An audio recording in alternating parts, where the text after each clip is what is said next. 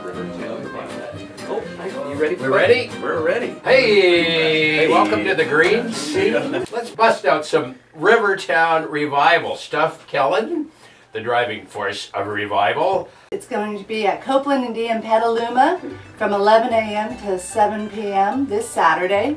It's a fundraiser for the River Heritage Center on the beautiful McNear Peninsula. Uh, it's to celebrate and conserve our river. Last year, we expected 1,500 people, and I believe there was over 4,000. Yeah, that's correct. Folks in Sonoma County love an all ages, family friendly event where fun for the entire family is not an oxymoron.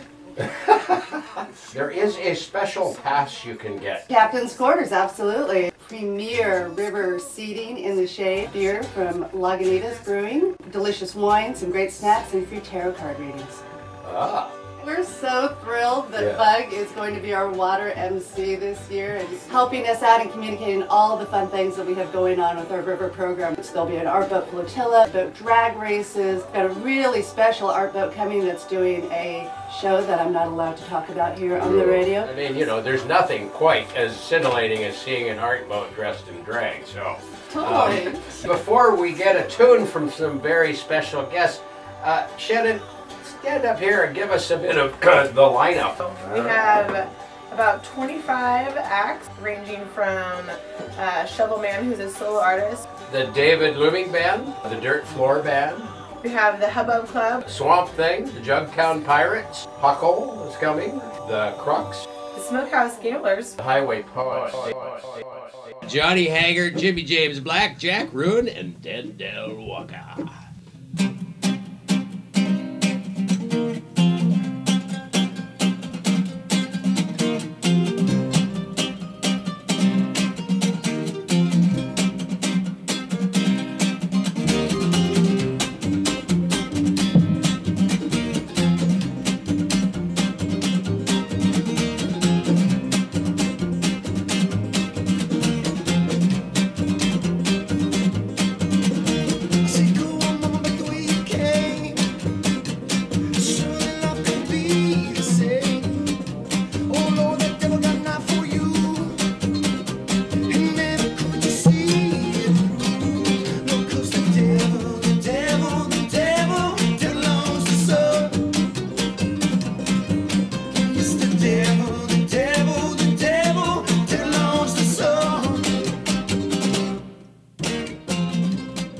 It's the green scene in the morning. Jimmy, how are you? I listen to the Green Scene all the time. Here's Lagunitas, totally involved in yet another fabulous event.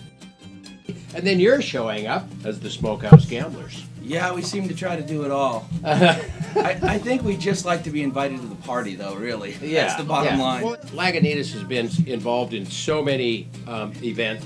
We got any new beers on the horizon? I think we're gonna bring a, our saison back for this, Aha. which is uh, we made it with organic ingredients this time. So that was kind of Ooh, a, a we're liking that. There is a dedicated children's area. Chris, you're always so scintillatingly the part. Because that just makes it so much fun for everybody. Yes. You put a costume on, you go to a festival, you're like in, you're like having fun. You want to go out there and dance to these bands that are amazing. This band was awesome. I have a new favorite band now. It's and as far as costuming goes, just think early 1900s, small Petaluma farming community, and they wake up one morning and the carnival is rolled in. So you can come in your straw hat, or your cowboy hat and your overalls, or you can come in your striped socks and your crinolines and your top hat or bowler. And if you just get the bowler hat. hat on and come on by, it's all right. Remember, July 30th, 2011, 11 a.m. to 7 p.m. The River Heritage Center. It's easy to find. 4th and Copeland. If you find the drawbridge, you'll be good to go. It's just a heck of a cool place to hang out. There's nine acres there, folks.